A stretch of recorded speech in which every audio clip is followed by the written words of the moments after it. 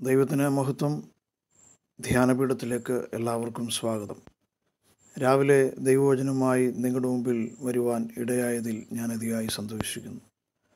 നമ്മുടെ പ്രായോഗിക ജീവിതത്തിൽ നമ്മെ സ്വാധീനിച്ചിട്ടുള്ള ഒരു ഗ്രന്ഥമാണല്ലോ വിശുദ്ധ ബൈബിൾ.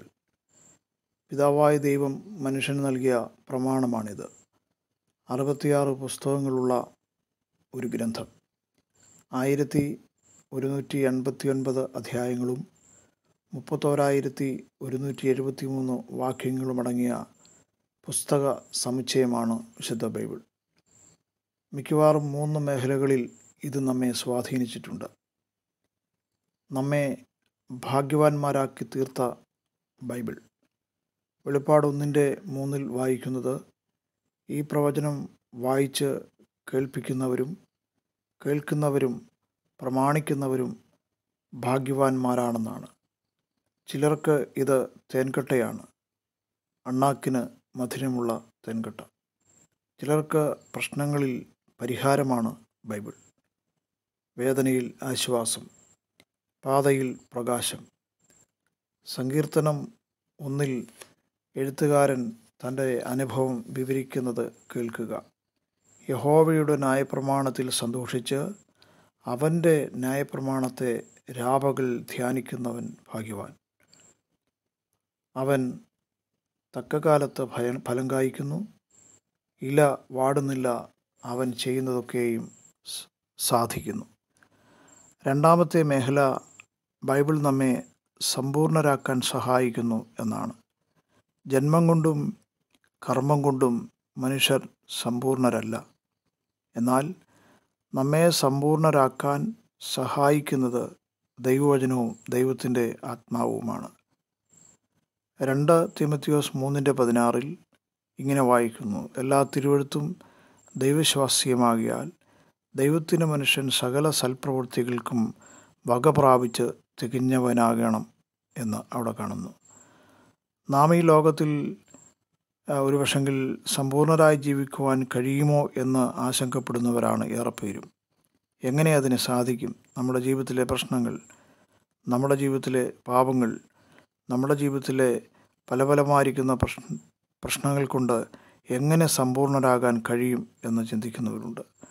നമ്മുടെ ആത്മീയ ഭൗതിക പിതാക്കന്മാരെ എടുത്തു നോക്കുക.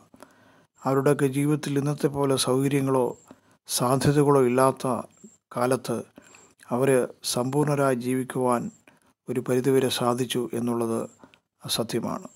ഒരു പക്ഷെങ്കിൽ ഈ പാപം നിറഞ്ഞ ലോകത്തിൽ സമ്പൂർണരായി തികഞ്ഞവരായി ജീവിക്കുവാൻ നമ്മൾക്ക് സാധിച്ചില്ല എന്ന് വരുന്ന ഒരു ഘട്ടമുണ്ടാകാം സത്യമാണ്. എന്നാൽ കഥാവായ യേശു ക്രിസ്തു നമ്മെ സമ്പൂർണരായി നാം ജീവിക്കണം എന്നുള്ളതാണ് ആഗ്രഹിക്കുന്നത്. എഫ് എസ് ലേഖന ഒന്നാം അധ്യായത്തിലൊക്കെ അതുതന്നെയാണ് നാം ആകുന്ന നമ്മെ ദൈവത്തിനു മുമ്പാകെ നിർമ്മലരും നിഷ്കളങ്കരുമായി നിർത്താൻ ആഗ്രഹിക്കുന്നു എന്നവിടെ വ്യക്തമായിട്ട് ഓർപ്പിക്കുന്നു. മൂന്നാമത്തെ മേഖല എന്നെനിക്ക് തോന്നുന്നത് പ്രത്യാശയില്ലാത്ത ഈ ലോകത്തിൽ നമ്മെ പ്രത്യാശയോടുകൂടെ നിലനിർത്തുവാൻ ദൈവവചനത്തിന് സാധിക്കുന്നു. വെളിപ്പാട് ഇരുപത്തിരണ്ടിന്റെ പന്ത്രണ്ട് മുതലുള്ള വാക്യങ്ങളിൽ ഇതാ ഞാൻ വേഗം വരുന്നു.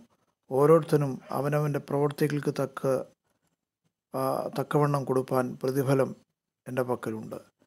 ഇരുപത്തി രണ്ടിന്റെ ഇരുപതാമത്തെ വാക്യം ഇതുതന്നെ ആവർത്തിക്കുന്നു. ഇത് സാക്ഷീകരിക്കുന്നവൻ അതെ ഞാൻ വേഗം വരുന്നു എന്ന് അരളി ചെയ്യുന്നു.